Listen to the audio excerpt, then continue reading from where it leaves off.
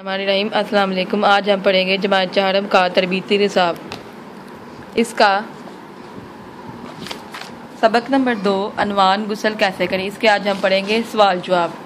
सवाल नंबर एक है, नादर ने दादा जान से किस अमल का तरीका पूछा?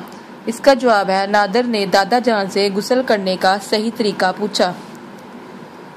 सवाल नंबर दो, दादा जान ने सफ़ाई के बारे में क्या बताया? जवाब दादा जान ने बताया, इस्लाम ने हमें सफ़ाई का अला तरीन निज़ाम दिया है और पकीजगी को ईमान का अहम हिस्सा करार दिया है। इसीलिए वज़ू और गुसल का हुक्म दिया है, जिनसे सफ़ाई हासिल होती है और सवाब भी मिलता है।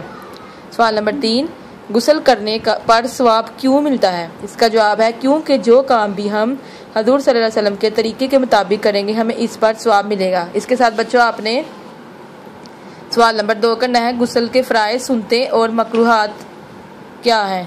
नीचे फिल किए आपने ये करने हैं, गुसल के फ़राइज़